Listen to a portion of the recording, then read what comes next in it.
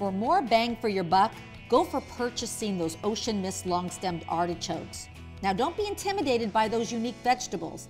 The long-stem artichokes can be used the same way a regular artichoke can, but you actually get an additional 8 to 10 inches of stem that's the extension of the heart.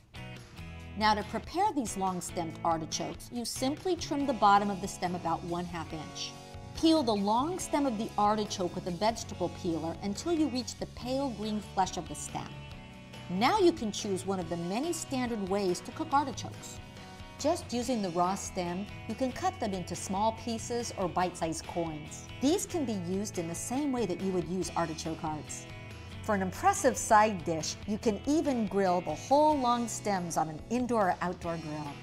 Use the stems in stir fries, salads, stews. Remember, these stems are not only tender and delicious, but they're full of fiber, antioxidants, and low in calorie. For more details on cooking with artichokes, the health benefits, recipes, and cooking videos, go to oceanmist.com.